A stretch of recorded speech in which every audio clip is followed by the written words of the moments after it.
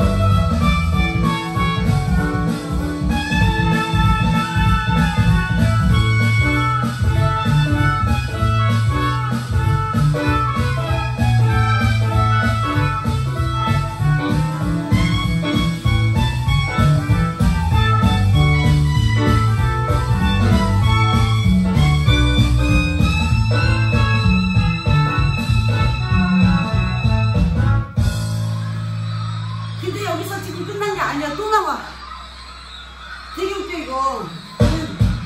봐